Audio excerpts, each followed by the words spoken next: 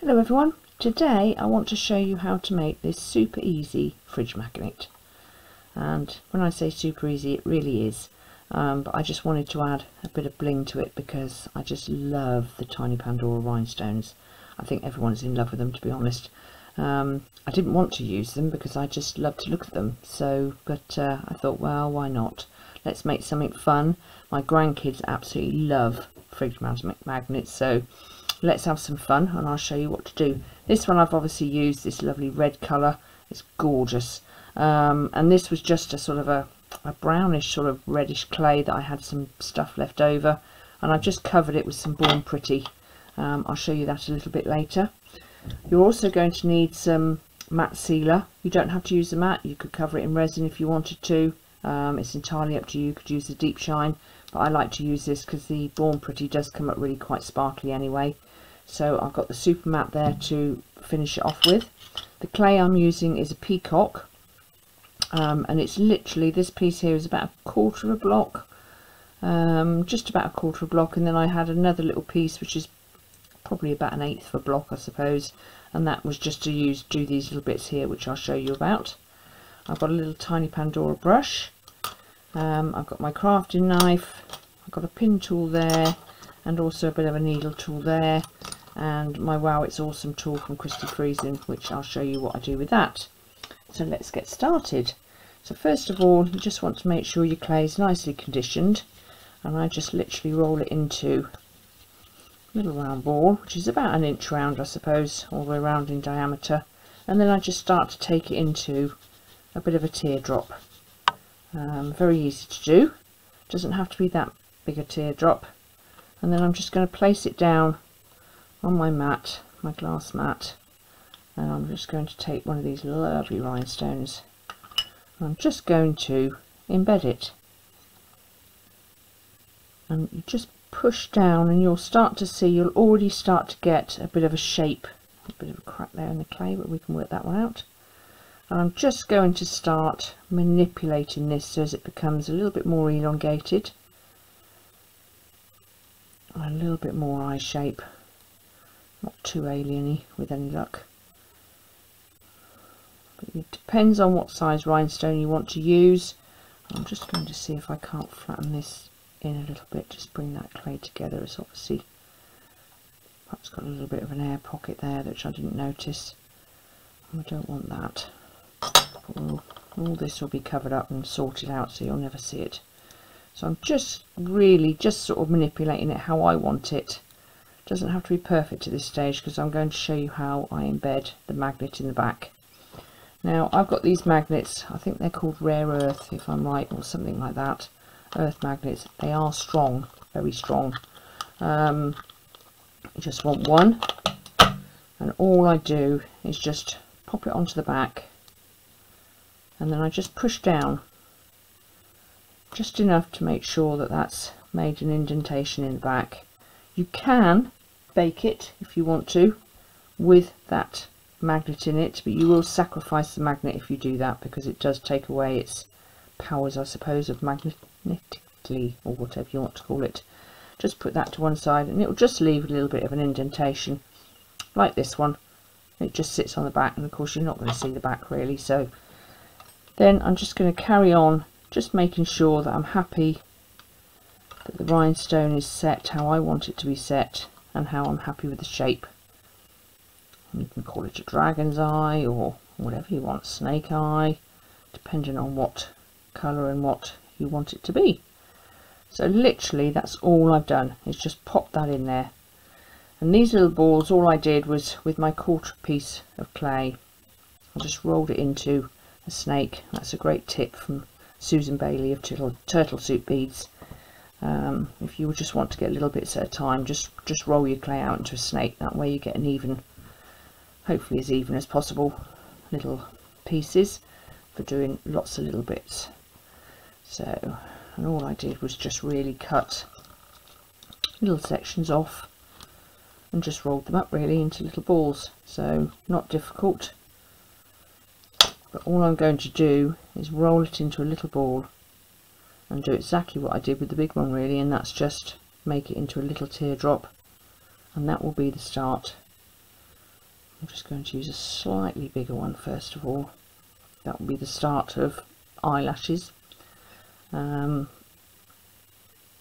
just enough to sit in that corner. And how you place these is entirely up to you. It's really down to the sort of look you want but these will obviously help to embed that lovely rhinestone. So I'm just going to crack on with these and we'll come back when I'm nearly finished. Okay so as you can see I've got the little pieces all stacked on there. And all I'm going to do now and this will also help again with holding in that rhinestone is just use a little tool. And this is just a needle I just embedded in some clay. I've actually had this years. So uh, just going to I didn't do this with the other one but it just thought to myself do you know what? Just give it a bit more character. Just going to push these down. And like I say that will also help with the embedding of that lovely rhinestone. So you've done that step there so now what we need is we need to run a line around the bottom. And it's just really to give it a bit of depth more than anything. So I'm just going to take a bit of clay off and this can be a bit of trial and error as to actually what length you need. All I'm going to do is just roll this out and it'll be tapered at one end. I'll also smush it into the eye. And you'll see what I mean by smushing in a minute. So I'm just going to really see what sort of length I want. I'm just going to take that off around about there. And now what I want to do is I just want to make that actually round at the bottom. So it does take a little bit of manipulation. I'm just going to round it round. And sometimes doing this also determines how your eye looks. Whether it sort of looks angry or whether it looks smiley so you can make quite a difference at this point as to how you actually want it.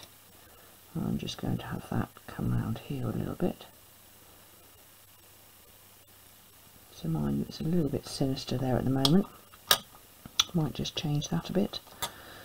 I'm just going to push these little things just back a little bit because I don't want to cover that rhinestone up too much because obviously it is super gorgeous all these little bits just pop them down just a little bit because the last thing you want is to be catching those when you want to remove it from your fridge. And now with the other end of this tool I'm just going to start by taking this and making it become really part of it. So it's just about slowly slowly mushing that down and uh, just making it part of that whole piece that's holding in that rhinestone. And it's really quite therapeutic doing this. It doesn't have to be absolutely perfect because you can put some texture on here. So you can cover up a lot of this. But it just gives it a bit of depth I think. Just smooth that end into now you could if you really wanted to put a little rhinestone right in that corner entirely up to you. I think once I put the Born Pretty on I think that would be enough bling. And I'm uh, quite mean with my rhinestones if I'm honest. Because I love them so much. I just like looking at them. So I'm quite happy with that so far. I'm just going to have a little play around as we all do. And you may find that when you get to the end you might want to just double check that your magnet is still seating okay but like I say you're not going to notice it on the back. Um, it's just a bit of fun. And it's a great way actually if you wanted to use up some scrap clay if you can make your scrap clay as dark as possible. These Born Pretty really work well. The darker the clay they work brilliant. Um, they really do sparkle. So all I'm going to do is just carry on tidying up this just a bit and I'll show you that with these tools you've got texture all over them really. So all I'm going to do here is just start to run this. Just gives it a little bit of texture. Doesn't have to be perfect but just running it over just gives it that lovely bit of texture I think really is quite cool. And when you apply the Born Pretty powders it really does help to cling to that clay. As you notice there I probably smushed that one a little bit but don't worry we can sort that out. Everything's sortable especially with clay. Just going to make sure these little bits are tidied up. And I shall carry on doing a bit of texture on there. I'll be back shortly okay so now I'm just going to apply some of these wonderful mica powders. And these are actually I believe for nails nail art. Um, but they are just absolutely super wonderful. This is the gold green I believe. And you put as much or as little on as you want. I'm just going to see what that does when I just highlight those little eyelashes. And like I say you can put on as much as you want. Really doesn't have to be a lot and it's just about picking up and accentuating those lovely little bits. And I absolutely love these colours because they really do. They have a sort of a two-tony effect and it's just so much fun. The darker the clay obviously like I say the better. They do shine. Black they come out absolutely wonderful on. Um, but if you have got some sort of dullish grey whatever colour clay and you just want to be able to do something with it just for a bit of fun then this is a good way of doing it. You will need to seal it like I said before and uh, depending on what sort of sealant you want I'm going to use the lovely super matte from Tiny Pandora. And then the rest of it you just start working around now I always try and get in the edges with my brush. I just think it's going to get those in there quite well but after that I will start to use my finger because I do find that that just speeds the process up a bit. But just so as I can get right in underneath there. And I just think this colour is just gorgeous. And it complements. And you still you're not covering it totally. You can still see the peacock um, colour. But it just gives it that lovely definition I think. I'm just going to see if I can get a little bit down into that eye there.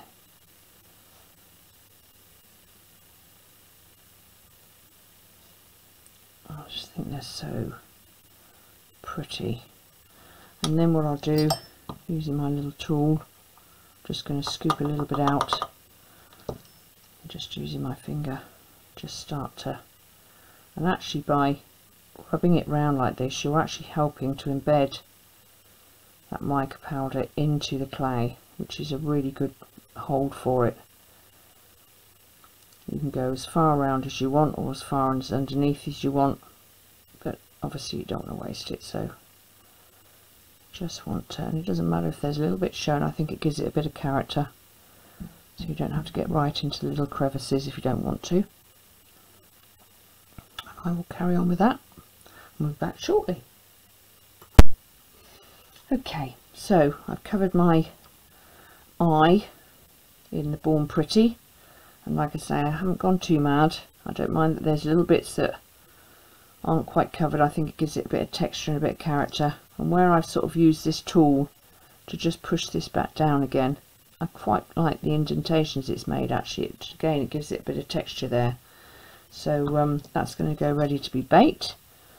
And I'm just going to use this q-tip just to take any excess of that off and also always have a paper towel ready because you are sure to get mica powder absolutely everywhere. That will go in the oven and I'm going to cook that for about 45 probably about 55 minutes actually I think because it is quite a thick piece of clay. Um, and like I say once that's done when it comes out and it's cooled down a bit I'm then going to cover it with some super matte and I'll pop it back in the oven for probably about five minutes just for that to dry off and then it'll all be finished. So I'll see you again soon. Okay everyone. So this has been baked and I applied the matte varnish which is absolutely fantastic it just means that it seals that lovely mica powder for you. Stops it coming off on your fingers. And all I'm going to do now is just apply the magnet.